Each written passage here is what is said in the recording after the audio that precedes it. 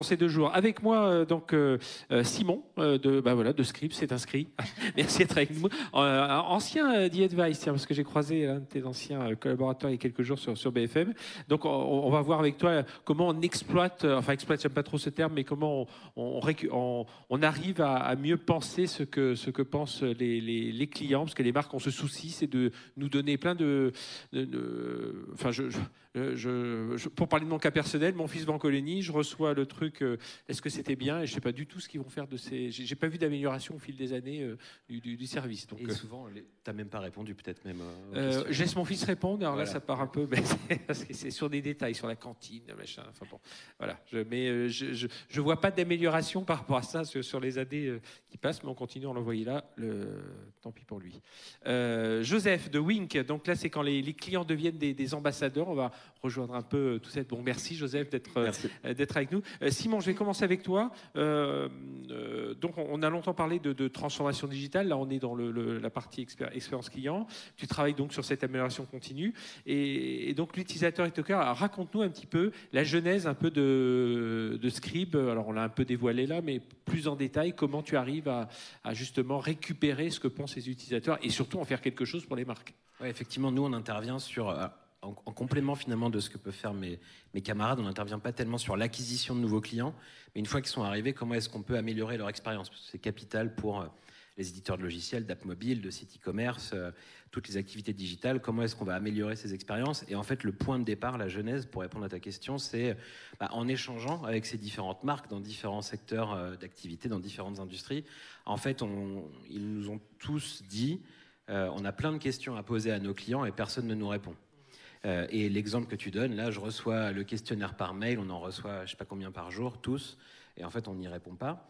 Et donc, on a voulu mesurer ça. Les taux de réponse en moyenne sur ce genre de questionnaire, c'est 5%. Euh, donc, il y a quand même 95% des clients qui ne répondent pas, euh, alors qu'on a besoin de ces réponses pour améliorer son service.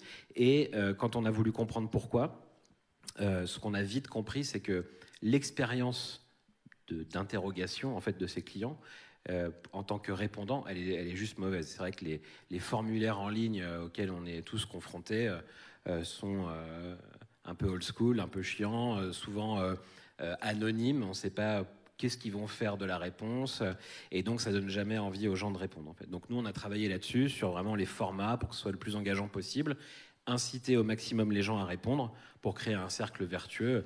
Plus j'ai de réponses, plus la donnée est de qualité, plus je peux me baser dessus pour améliorer mon expérience, et donc plus l'expérience pour le client à la fin elle est de bonne qualité. Et, le but c'était de t'inspirer des réseaux sociaux, enfin voilà, de prendre un peu toutes les, bonnes pratiques euh, des réseaux sociaux, des, outils de CRM, et de se dire voilà, on va, travailler autour de ça. Parce que nous on vient de là, tu le disais, moi mhm. j'ai ah Advise, mon associé a bossé 7 ans chez Facebook, donc on, a, on s'est beaucoup inspiré de ces méthodes d'engagement, ces méthodes de conversation, rendre les trucs très ludiques, et donc euh, en moyenne aujourd'hui nos clients ils ont plutôt des taux de réponse autour de 60% quand ils interrogent leurs clients mhm. et leurs utilisateurs. Et donc, et parmi les clients, il y a quelques gros, Nespresso, Orange, voilà, pour citer deux des gros. Doctolib, euh, ouais, voilà.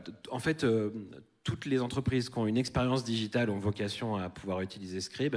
Et effectivement, SaaS B2B, applications mobiles B2C comme Doctolib, site e-commerce, euh, Nespresso, Orange, Smallable, ça c'est des clients. Et puis je trouvais intéressant, tu, disais que justement tu t'es inspiré aussi des codes WhatsApp, Instagram, enfin, voilà, de tous ceux qu'on utilise tous aujourd'hui. Ouais, on est habitué en fait à ces expériences dans notre quotidien. Donc nous, on s'inspire de ces codes-là pour pour que les gens répondent davantage et qu'ils n'aient pas besoin de réapprendre une nouvelle interface et qu'ils soient pas confrontés à quelque chose un peu de froid et de et ouais de, de chiant un peu. Et en fait, euh, puisqu'on envoie des messages à ses amis sur WhatsApp tous les jours, bah pourquoi est-ce qu'on euh, serait pas interrogé par une mhm. marque ou une app mobile de la même manière. Et quand on le fait, en fait, les gens répondent énormément. Et c'est même pas une question de longueur du questionnaire. C'est une fois qu'on est engagé un peu, on est prêt à, prendre cinq minutes et puis pour être un peu plus précis dans, ses réponses. en général, ce que font nos clients, c'est quand même c'est plutôt des, des, courts questionnaires, deux trois questions, mais ils viennent interroger régulièrement leurs utilisateurs. Mhm. C'est plus la grande enquête annuelle avec 40 questions. C'est euh, trois fois par mois, je vais avoir trois petites questions pendant que je suis en train d'utiliser l'app, pendant que je suis sur le site e-commerce. Et donc, puisque ça vient popper de manière proactive au bon moment, euh, avec ces formats très engageants et juste deux, trois questions, c'est pour ça que les gens répondent énormément en fait. C'est une question, tiens, c'est un système qu'on devrait utiliser dans les RH, je trouve. On avoir des questions un peu de satisfaction euh, euh collaborateur au quotidien. Joseph Wing, donc chez toi, l'engagement client, il, prend une autre dimension. Raconte-nous ce que tu fais. Yes, carrément. Bah, en fait, c'est assez intéressant parce que nous, on va, comme Isabelle, beaucoup croire au pouvoir de la recommandation client. Et comme Simon, beaucoup croire au fait que c'est hyper important d'engager sa communauté, d'écouter ses utilisateurs et de le faire euh, d'une manière qui est la plus ludique possible euh, pour créer finalement bah, un échange de valeurs qui est gagnant-gagnant entre la marque et le consommateur. Donc nous, en fait, euh, chez Wink, notre ambition, ça va être un petit peu de réinventer le modèle d'engagement marque-consommateur, qui aujourd'hui est justement très très descendant, très vertical, top-down, pour le rendre un petit peu plus justement horizontal, interactif, et permettre eh bien, aux marques finalement de faire de leurs clients euh, leurs meilleurs ambassadeurs pour répondre à plein de problématiques. Tu, peux nous donner un exemple très, très concret voilà, bien? Donc en fait, nous, Wink, c'est euh, concrètement une solution euh, de parrainage et fidélité nouvelle génération, mhm. dans la mesure où, au-delà de récompenser les achats et les parrainages, on va aussi récompenser les clients, donc les marques, nos clients vont récompenser les leurs quand ils vont partager du contenu sur les réseaux sociaux, envoyer des photos, envoyer des vidéos, s'abonner aux réseaux sociaux, repartager des posts, déposer des avis sur Google, Facebook, Trustpilot. Il y a plus d'une trentaine de moyens euh, d'engagement. Et l'objectif, en fait, c'est que le consommateur, euh, en réalisant ce qu'on appelle des petites missions, il va gagner des points qui lui permettent ensuite de débloquer des récompenses. Mhm. Donc, euh, par exemple, voilà, je paie un avis Google et je fais une story Instagram. J'ai 200 points, ce qui me permet d'avoir un produit offert. Et donc, pour les marques, ça permet de réduire un peu leur coût d'acquisition, on imagine?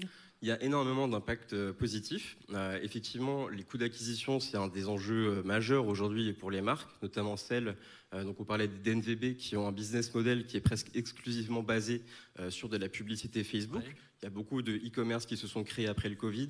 C'est un marché qui est en forte croissance, donc offre et demande, coûts d'acquisition qui explosent.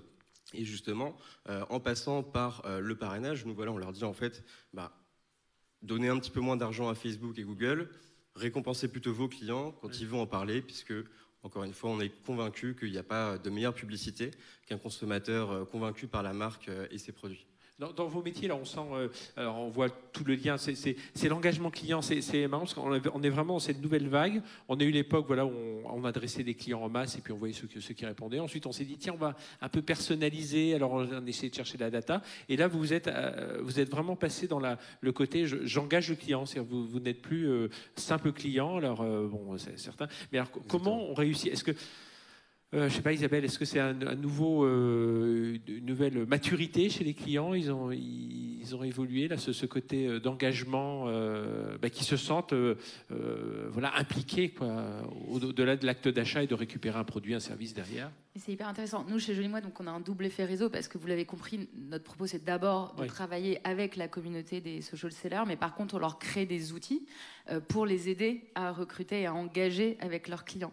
Et je discutais justement euh, avec Joseph du fait qu'on va lancer euh, très prochainement un nouveau programme pour maintenant, maintenant qu'on a une très belle traction sur la partie communauté vendeur, bah, continuer de les outiller sur des outils, exactement ce que tu décris avec Wink, pour passer d'un programme, très concrètement, on passe d'un programme de fidélité basique qui est euh, je gagne des points parce que je consomme sur la plateforme, ce qui est aujourd'hui finalement le cas euh, des clients jolis moi, euh, les clients finaux, hein, pas, les, pas les sellers.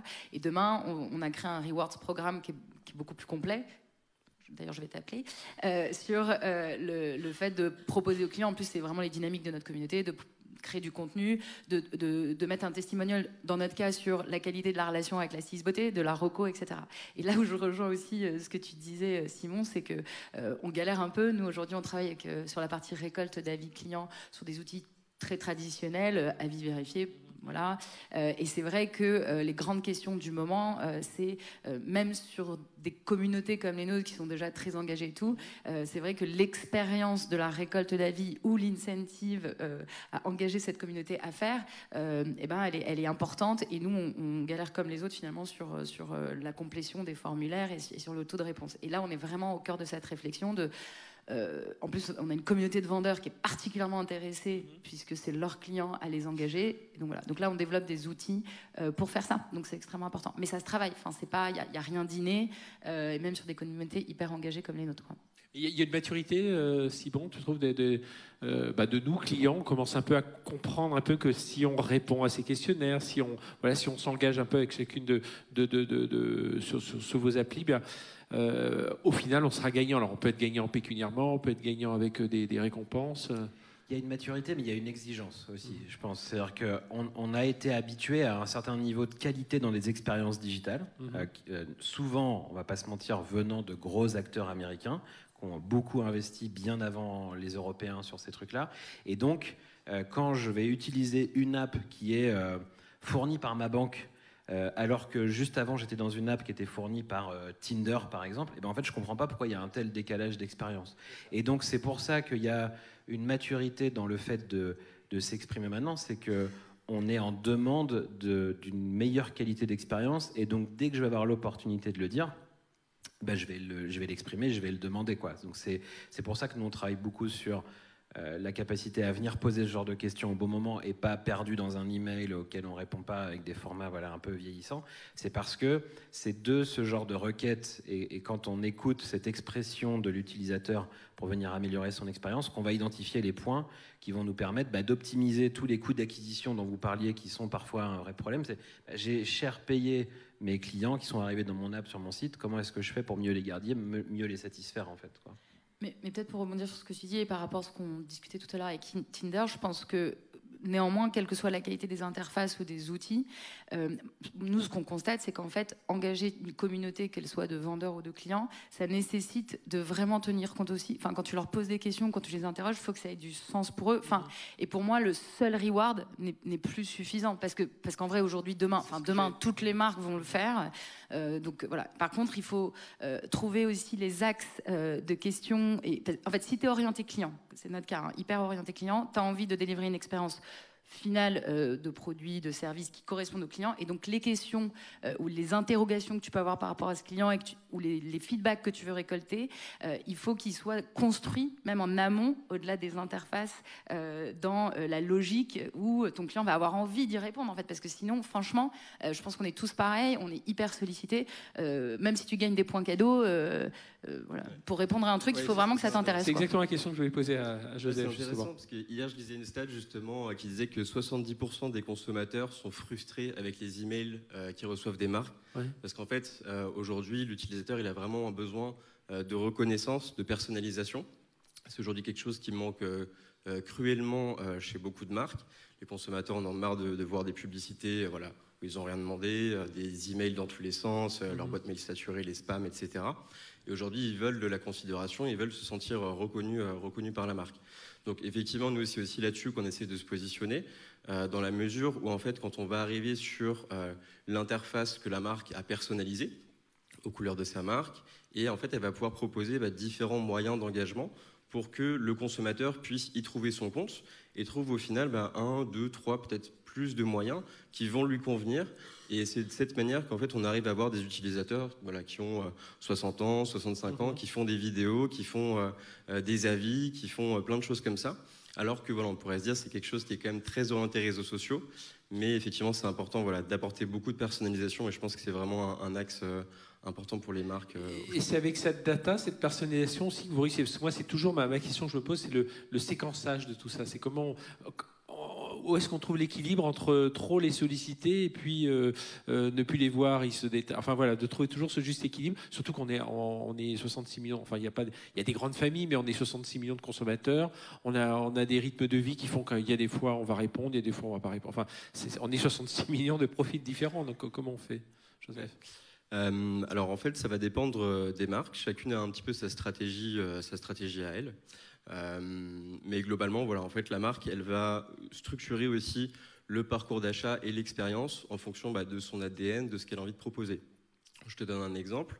Euh, par exemple, nous, en fait, il y a des marques, ce qu'elles vont faire, c'est au lieu d'envoyer un email euh, en post-achat pour dire au consommateur bah, Salut Frédéric, j'espère que tu aimes trop ta nouvelle Apple Watch, est-ce que ça dit de nous mettre une review sur Google? Ils vont en fait mettre une petite carte de remerciement avec un QR code, un petit mot personnalisé. Et du coup, toi, tu vas peut-être être plus à l'aise avec le fait de scanner le QR code, d'arriver euh, sur cette page-là, de voir voilà, ton prénom quand tu te connectes avec ton compte client, ta photo de profil, euh, et euh, des moyens aussi d'engagement qui sont adaptés à ton segment client, puisque les marques peuvent aussi justement segmenter les missions en fonction de leur segment client, pour toujours aller plus dans la personnalisation. Moi, je veux juste réagir là-dessus parce que, évidemment, dans notre modèle, on est sur un marketing déporté. Donc, euh, l'idée, c'est que ce soit nos social sellers qui aient des outils CRM et des outils d'engagement qu'ils utilisent, encore une fois, auprès de leurs clients finaux. Juste une stat qu'on a suivie dans, dans l'app, c'est que on continue euh, chez Joli Moi d'envoyer des newsletters euh, classiques euh, à, notre base de clients. On en a plus de 300 000. on a des taux d'ouverture qui sont plutôt pas mauvais. Pour le coup, on n'en envoie pas trop, de l'ordre de 30%. Pour vous donner une stat, quand c'est notre social seller qui envoie via l'app un message à sa, base client, soit soit un client, soit un groupe de clients, c'est un taux d'ouverture de 80%. Donc là, ça dit assez bien. Et honnêtement, aujourd'hui, on a un boulevard de choses à optimiser, de solutions à mettre en œuvre sur le séquençage, comme tu dis, etc. Euh, mais ça dit quand même quelque chose d'extrêmement fort dans le fait de développer aussi des stratégies de prise de contact et d'interaction très personnalisées finalement. Nous, c'est au point où tu as une centaine de clients pour un social seller ou un peu plus, tu vois. Donc c'est très fort. Je pense qu'il y a une, une, notion commune dans tout ça, c'est la, la confiance. Euh, pourquoi est-ce que je ne vais pas avoir le sentiment d'être spammé et pourquoi je vais continuer à interagir et à répondre? C'est parce que euh, j'aurais eu le bon niveau de personnalisation, mais ça veut dire que j'ai une confiance qui se crée dans cette marque, j'ai confiance dans le social seller et euh, j'ai pas eu le questionnaire de 15 questions comme je disais tout à l'heure et donc je vais savoir que la prochaine fois je vais répondre aussi parce que ce lien s'est créé et il y a cette confiance qui, qui se crée entre la, marque et son utilisateur ou son consommateur. je pense que cette notion de juste faut faut les respecter, il faut pas essayer de les arnaquer et c'est pour ça qu'en fait on a mmh, ces effets vertueux qui se créent. Quoi. Question de la salle. Quid de l'éco-responsabilité digitale de, chacun d'entre vous? Vaste question. Alors Simon, euh, t'es plus es le premier à côté de moi. Euh, alors je sais pas si c'est à titre personnel, parce qu'on parle des intervenants ou c'est dans nos activités, mais en fait, euh, si, je peux répondre pour Scribe sur ces deux sujets-là. En fait, il y a quand même, on l'évoquait aussi tout à l'heure, ce qu'on fait fait que les marques, elles ont moins besoin de, dépenser énormément d'argent en publicité et on va financer euh, les GAFA, etc. parce que on va avoir des cercles plus vertueux via des réseaux de social sellers, via les clients directement qui vont en bénéficier. Et nous, comme on arrive, c'est l'étape d'après, on a moins besoin de dépenser en acquisition parce qu'on a une meilleure rétention, une meilleure adoption, une meilleure conversion. Donc je pense que ça fait partie de, cette responsabilité. Et puis après, on a aussi, nous, euh, en tant qu'entreprise, beaucoup travaillé sur des sujets de respect de la vie privée, de la donnée privée, euh, ce, qui rentre aussi dans la responsabilité, en tout cas euh, de mon point de vue. Donc voilà, c'est ma réponse. Je ne sais pas si ça répond bien à la question, mais... Isabelle, oui, euh, très rapidement, euh, enfin pas très rapidement, mais oui, euh, on est évidemment. Alors sur la donnée, en plus nous on collecte quand même dans, les, pour les outils de recommandation beaucoup de données personnelles. Donc très tôt on a, on a pris le parti de limiter les questions pour qu'elles soient toujours avec une utilité. Donc ça c'est la différence entre balancer 10 000 questions à une personne, même si tu n'utilises pas toutes les données, versus seulement demander des, choses dont les données vont être utilisées pour rendre un service au, client final. Donc ça, c'est important. Euh, on, réfléchit aussi en interne. Alors nous, la problématique, c'est qu'effectivement, on, a une communauté qui va générer du contenu. Il y a toutes les logiques de cloud et aussi de, ce que ça peut euh, consommer, euh, tous ces contenus, que ce soit notre communauté ou nos propres contenus. Donc il y a des réflexions autour de ça. et en parallèle, d'éco-design. Et, le, sujet qui, est vraiment à cœur et accord chez Joli Moi, c'est plutôt, enfin, c'est celui de euh, avoir créé une tech qui est la plus inclusive possible. Donc, à nouveau, une technologie, cette application et ce business model qui permettent à quelle que soit euh, ta provenance, quel que soit ton niveau d'éducation, où que tu sois, euh, d'utiliser cette technologie pour bah, gagner en autonomie financière. Et voilà, et vraiment, je dirais, principalement, c'est ça les grands euh, sujets qui nous concernent aujourd'hui, euh, de comment on peut s'assurer que la tech est un, soit un vecteur d'inclusion et non plus d'exclusion. Euh, et c'est ça, nous, l'impact en tout cas mhm. avec le digital qu'on souhaite avoir. Oui, puis, puis la tech, on, le rappelle, hein, que ce soit en, conception, euh, le codage et tout ça, mais aussi en utilisation. On ne le dit pas assez souvent, mais euh, je trouve que les, gens parfois ont du mal quand même, même à. Enfin, l'électronisme, c'est pas juste euh, comprendre le code, c'est ouais, voilà, aussi comprendre l'usage. Joseph, sur cette partie éco-responsabilité, puis je, reviendrai sur l'une des questions aussi sur la, la partie data dans un instant. Alors nous, de notre côté, euh, chez Wink, euh, quelque chose sur lequel on est en réflexion slash discussion en ce moment, c'est tout simplement de permettre aux marques euh, d'offrir des récompenses qui soient liées à des associations, des organismes caritatifs, pour qu'en fait le consommateur ait le choix soit d'échanger ses points contre un bon d'achat, un produit, une expérience, mmh. ou de planter un arbre, de donner à une organisation caritative, etc. Donc ça, c'est bien évidemment bah, super intéressant pour le consommateur. Chacun a envie de s'engager. Parfois, voilà, il n'y a pas vraiment d'enjeu sur un bon achat. On, c'est un moyen facile entre guillemets d'aider une cause euh, intéressante. Et puis pour la marque, c'est aussi bien évidemment un, argument marketing. Donc de cette façon, on essaie un petit peu de, voilà, mêler le, le meilleur des deux mondes. Euh, sur la question là, sur le, quid de la sécurisation et de la limite de, la collecte de la donnée comportementale pour améliorer l'expérience des clients. On sait qu'aujourd'hui, même, même nous, en tant que consommateurs, on commence un peu à avoir conscience de, de tout ça. Le RGPD a, réveillé un peu tout le monde et, puis je crois que euh, ce qui a pu être... Euh, fait par les, les, grands, les grandes plateformes font que les gens se protègent un peu plus. Euh, est-ce que là, voilà, vous sentez, euh, euh, voilà, faut trouver encore là une fois le, le, bon, le juste équilibre, Simon? Ouais, alors en fait, je pense qu'on a longtemps vu ces sujets-là comme une forme de contrainte, mhm. parce que forcément, en tant qu'éditeur de logiciels c'est des trucs, c'est des formes de contraintes, c'est des trucs qu'on doit prendre en compte qui n'existaient pas avant. Mais en réalité, aujourd'hui, c'est devenu un vrai argument de business. En fait, c'est-à-dire que nous, on gagne beaucoup, beaucoup de clients en disant bah, on est une entreprise française hébergée euh, en France, euh, vos données elles partent pas chez un mhm. hébergeur américain. Et en fait, c'est devenu tellement important pour euh, les marques parce que peur de la sanction RGPD, etc., qu'en fait, en tant qu'éditeur logiciel, c'est désormais un argument de vente et c'est un avantage face aux Américains. Donc, donc il faut le prendre en compte, c'est obligatoire légalement, mais il ne faut pas, je pense, le voir que comme une contrainte. C'est un vrai levier d'acquisition de clients pour nous mmh. aujourd'hui. Isabelle? Forcément, euh, un peu comme Ben tout à l'heure le disait, il y a plein de choses qu'on aimerait faire et souvent, euh, moi la première, je vais dire ah ce serait vraiment hyper intéressant de créer cette expérience et là j'ai toutes les équipes qui nous disent ah, c'est pas possible, pas possible, pas possible. Je fais ok. Euh, je pense qu'en fait le juste équilibre il est d'abord dans la transparence, c'est-à-dire que je pense que trop longtemps on a entre guillemets essayé de collecter des données. utilisateurs sans vraiment être super transparents. Tu vois, les, contrats de CGV, 10 000 pages, qui les a lus.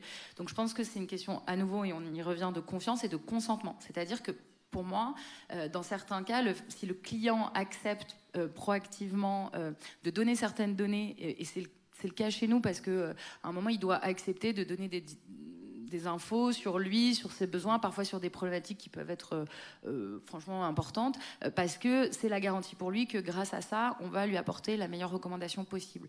À partir du moment où il y a consentement, où effectivement ces données, nous, ces données, elles sont tout le temps, enfin après, il y a plein de volets sécuritaires d'anonymisation des données, il n'y a aucune donnée qui est revendue, enfin tu vois, la donnée de nos clients, elle n'est pas utilisée à des fins publicitaires, c'est vraiment toujours pour lui rendre service. Et je pense que ça, c'est important, et je pense que c'est peut-être la clé de cet équilibre, elle, elle est là en fait entre euh, utiliser la donnée, oui, mais toujours dans un but qui va être utilitaire pour ton client final. La confiance, la transparence, euh, Joseph? Ouais, effectivement, bah, c'est hyper intéressant ce qu'on disait euh, juste avant sur la, sur la confiance. je pense qu'aujourd'hui, il y a une vraie crise de la confiance envers les institutions de la part des jeunes. Voilà, le Ben de Tinder redisait ça tout à l'heure, voilà, qu'on remet un petit peu en cause tout, pas mal de, modèles sociétaux aujourd'hui.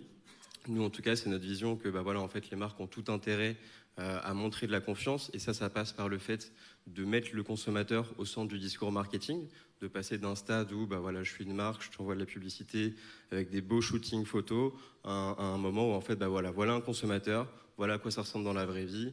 Tu prends, tu prends pas, mais en tout cas, la réalité, c'est ça. Et du coup, il faut que ça aussi, se ressente euh, au niveau des utilisateurs, au niveau des consommateurs qui euh, s'impliquent auprès de la marque. Et donc nous, typiquement, euh, comment on fait ça? Bien sûr, il y a tout un, enjeu autour euh, bah, de l'utilisation, enfin, des conditions générales d'utilisation. Donc nous, en fait, on fournit euh, un modèle de CGU spécifique au programme de parrainage et fidélité qui va inclure des notions telles que le droit à l'image, telles que toutes ces choses-là, que les marques peuvent en fait tout simplement ajouter à leur programme.